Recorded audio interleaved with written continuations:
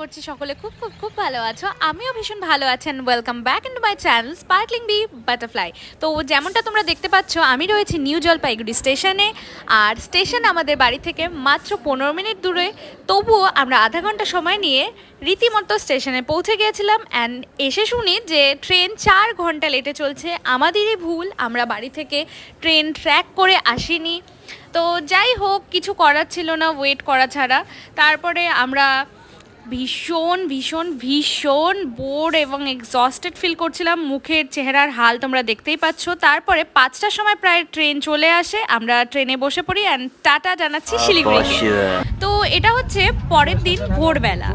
তো আমি রাত্রেবেলা এতটাই টায়ার্ড হয়ে গেছিলাম যে আর কোনো রকমের ভিডিওই করার আমার সাহস ছিল না।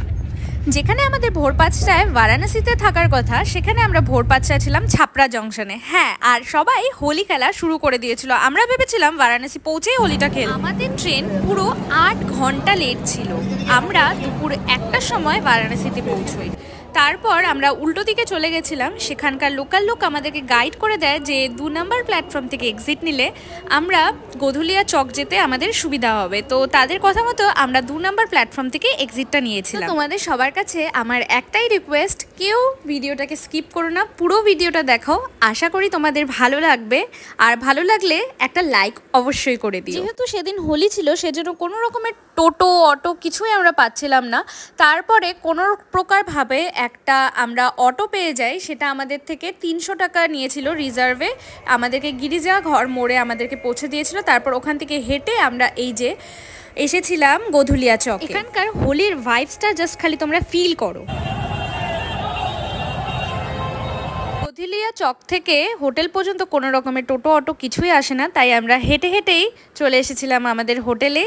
তো যেমনটা শুনেছি এবং দেখেছি যে এখানে মৃত্যুকে নাকি সেলিব্রেট করা হয়। এখানে ঢোল বাজাতে বাজাতে তা, যিনি মারা গেছেন, তার মৃতদেহটাকে নিয়ে যাওয়া হচ্ছে।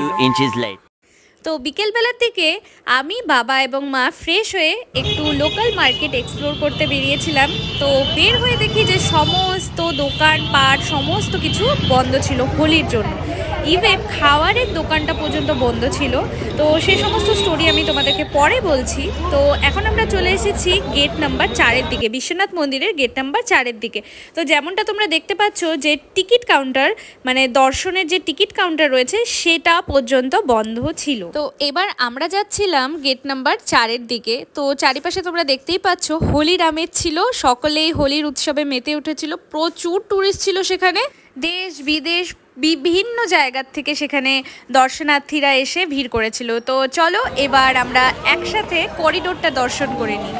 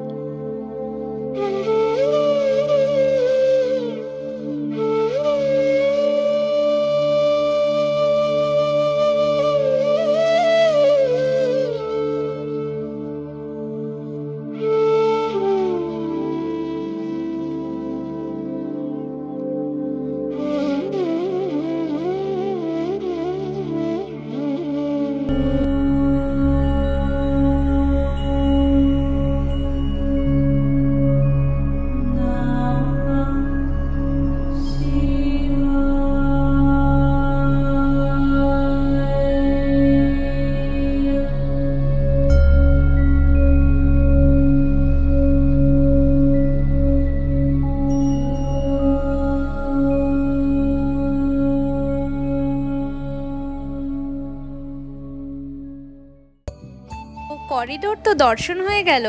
এবার চলো দর্শন করে আসি গঙ্গার ঘাট। আর তার আগে তোমাদের বলে নিই, এই করিডোরেই রয়েছে ফুড কোর্ট, তারপর ভারত মাতার মন্দির, বিভিন্ন ধরনের স্ট্যাচু, শাড়ির দোকান, যা সমস্ত কিছু প্রয়োজন রয়েছে, সমস্ত কিছুই ছিল এই করিডোরের মধ্যে। তো চলো এবার গঙ্গার ঘাটের দিকে যাওয়া যাক।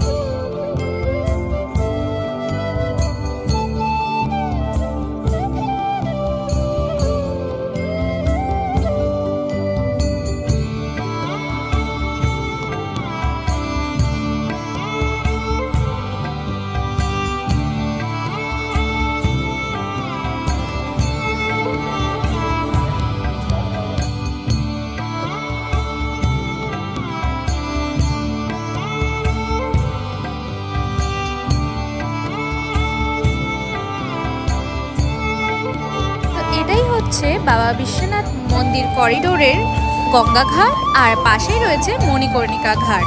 তো এখানের পরিবেশটা আমি তোমাদের জাস্ট বলে বোঝাতে পারব না। তারপর আমরা বোটে বসে পড়ি। পার হেড দুশো টাকা করে নিয়েছিল মানে টোটাল আমরা তিনজন ছিলাম। সিক্স হান্ড্রেড রুপিস পে করেছিলাম। এই দশা সমেত ঘাটের সন্ধ্যা আরতি দেখতে যাওয়ার জন্য।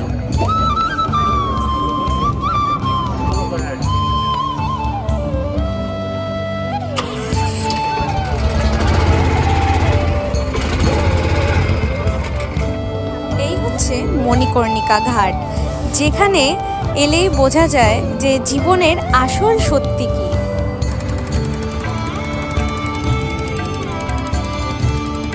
বিভিন্ন ঝামেলায় জর্জরিত হয়ে থাকে জীবন এবং মন ভীষণ বিষণ্ণ হয়ে থাকে, অবশ্যই এসে একবার কাশি থেকে ঘুরে যাও। জীবনের আসল মানেটা তোমরা খুঁজে পাবে। একটা আলাদাই রকমের শান্তি তোমরা ফিল করতে পারবে। তো অবশ্যই নিজে এবং পারলে নিজের বাবা মাকে নিয়ে একবার কাশি থেকে ঘুরে যেও।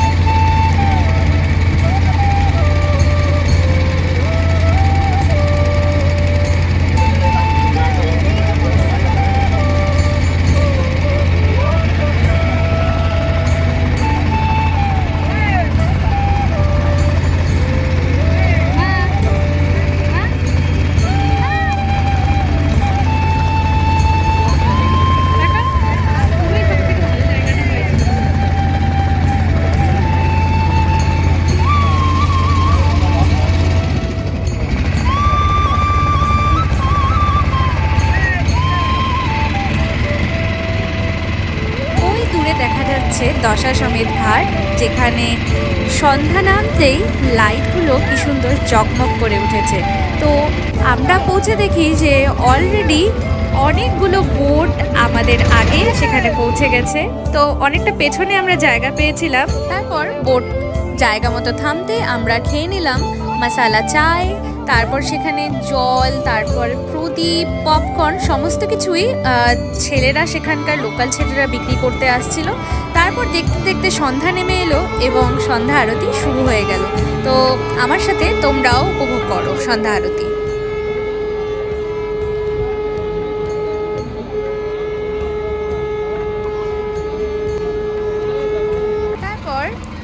আধা ঘণ্টা সন্ধ্যা আরতি দেখে বোট আবার ছেড়ে দিয়েছে। এবার যাচ্ছি আমরা আসিঘাট তারপরে আসিঘাট যাওয়ার পথে দেখি যে এখানে আরও সমস্ত বাকি বোটরাও আমাদের সাথে আসিঘাটের দিকেই যাচ্ছিল। আর সেদিন ছিল দোল পূর্ণিমা, আকাশের চাঁদও আমাদের সাথে যাচ্ছিল। আসিঘাটের আরতি দেখতে।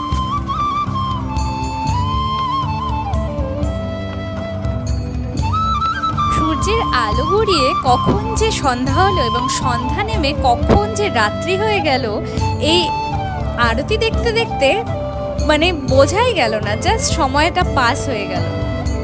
তিন থেকে চার ঘণ্টার বোট রাইড করার পরে এবং সন্ধ্যা আরতির উপভোগ নিয়ে আমাদেরকে বোটালা দাদা আবার নামিয়ে দেয় কাশী বিশ্বনাথের করিডোরের ঘাটে।